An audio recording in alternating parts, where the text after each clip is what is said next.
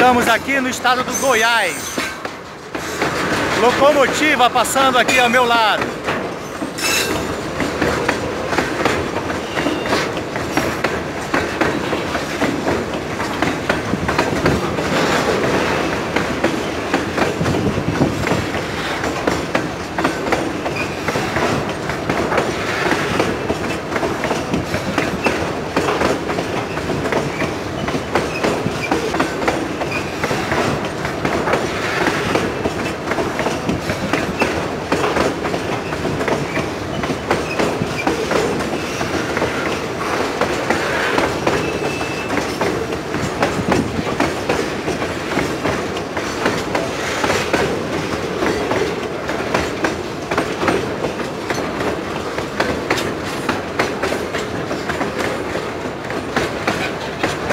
Olha quantos vagões tem aqui.